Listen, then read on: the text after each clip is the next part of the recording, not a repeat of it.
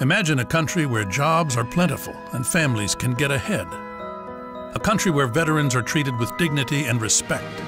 A country so powerful terrorism is in retreat, our families safe. A country run by a leader whose career was built on success. A leader who isn't beholden to special interests, but to the people themselves. Make America great again. Donald Trump for president. I'm Donald Trump, and I approve this message.